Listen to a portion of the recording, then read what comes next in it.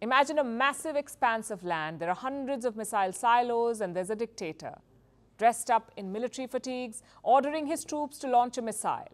You wait with bated breath, but nothing happens. Anticlimax. The silo lids which house the destructive missiles refuse to open. Our dictator is frustrated, but undeterred. He orders his soldiers to fire a different missile. Again, they fail. This time, the missiles are the problem. Instead of rocket fuel, they're filled with water. China got missiles that were filled with water instead of fuel. In western China, there's a missile silo field where the lids are malfunctioning, so they cannot launch a missile when they want to. Where does this leave Xi Jinping? He cannot fight the world with missiles filled with water. He pumped billions to modernize his military.